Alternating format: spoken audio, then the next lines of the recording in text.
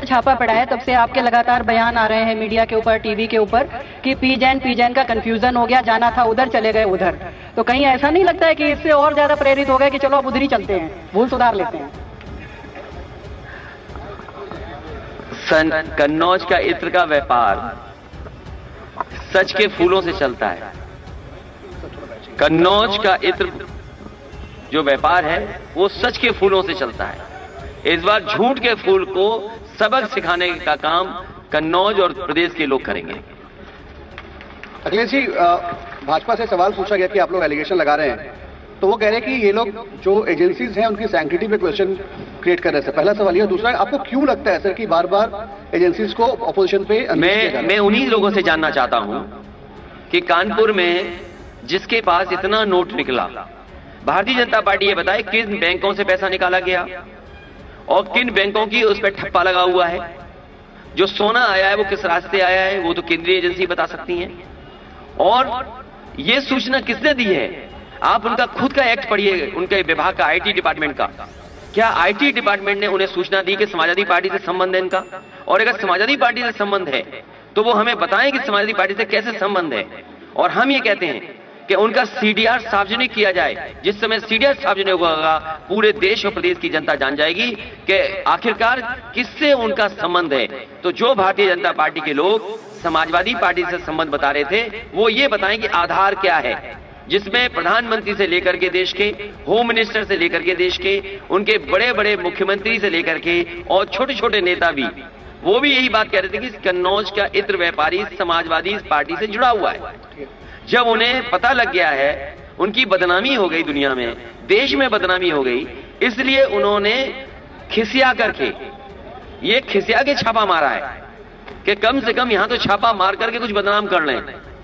Sir एक महत्वपूर्ण सवाल है कोरोना पे सर की कोरोना को लेके आपके क्या विचार है? क्योंकि जिस तरह से इलेक्शन कमीशन ने बोला कि पार्टियों ने हमें ये बोला कि चुनाव समय पे होने चाहिए कोरोना गाइडलाइन क्या इलेक्शन करते हुए। देखिए अभी क्या विचार है सर? वो अभी विषय पे बदलिए मत। आपको भी ये विषय मत बदलिए। विषय इत्र वाला।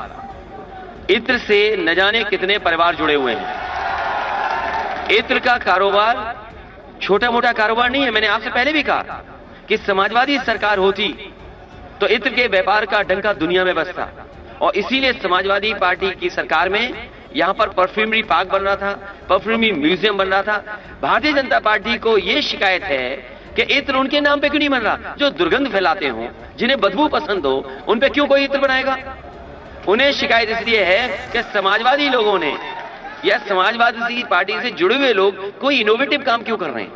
कोई नया काम क्यों कर रहे हैं? कोई पॉलिटिकल पार्टी पर इत्र कैसे बना सकता है? ये शिकायत है उन्हें कि आखिरकार पॉलिटिकल पार्टी के नाम पर इत्र क्यों बना दिया? समाजवादी इत्र क्यों बन गया? अखिलेश जी के नाम पर इत्र क्यों बन गया? वो चाहते थे कि बधू वाला इत्र उनके नाम पे बन जाता कोई पहले। आपने कल इसलिए इत्र का इंकलाब होगा और 22 में बदलाव होगा। अखिलेश जी कल इस बार कन्नौज से इत्र का इंकलाब होगा और 22 में बदलाव होगा। अखिलेश जी कल आपने प्रेस कॉन्फ्रेंस अनाउंस की और आज छापा पड़ गया तो इन दोनों के बीच में क्या रिलेशन है? क्या बताया कल आपने प्रेस कॉन्फ्रेंस अनाउंस करी और आज पुष्पराज जैन के घर पे छापा पड़ गया। ये वैसे भारतीय जनता पार्टी के इशारे पे डिपार्टमेंट चलता है। ये सहयोगी दल है उनके। ये नया गठबंधन है। ये इसलिए नया गठबंधन है कि पिछली बार इन्होंने जिन जिन दलों को सपने दिखाए थे आप याद कीजिए ओम प्रकाश राजभर जी आज समाजवादी पार्टी के साथ हैं। जब पहला कार्यक्रम उनके साथ हुआ तो मैंने ये कहा था कि इन्हीं के माध्यम से दरवाज़ा खोला गया था। इस बार इन्होंने दरवाज़ा बंद कर दिया और सिटकनी लगा दी है भारतीय जनता पार्टी के लिए। अभी हाल ही में निषाद समाज को धोखा दे करके इन्होंने लखनऊ बुलाया और निषाद समाज को यह बताया निषाद केवड़, मल्ला, बाथम, और इन समाज के लोगों को बताया कि आपको आरक्षण मिलेगा, आपको आरक्षण दिया जाएगा। घर घर जाके समझाया बीजेपी के लोगों ने। कि आपको आरक्षण मिलेगा। और जब आरक्षण उन्हें नहीं मिला तो सोचिए वो मंच पर जहाँ पर बड़े बड़े भारतीय जनता पार्टी के नेता थे वो ये कह के गए कि आरक्षण नहीं तो वोट नहीं। हम निषाद समाज के लोगों को केवट समाज के लोगों को बधाई देना चाहते हैं कि ऐसे धोखेबाजों को आपने पहचान लिया। और इस बार आप जो नारा दे रहे हैं आरक्षण नहीं है वोट नहीं तो ये आ, ये नारा और बुलंद कीजिए। अखिलेश जी अखिलेश जी सर जिस प्रकार से आपने कहा कि आ, सरकार ने अलायंस किया एजेंसी से इलेक्शंस को लेकर। तो सर, उसका कैसे आप उसको फेस करेंगे सर? छापे आए दिन चल रहे हैं, आपने कहा कि अलायंस है एजेंसीज अलायंस कर रही हैं इलेक्शन में। आप किन से अलायंस करेंगे सर? ये छापे और बढ़ते जाएँगे।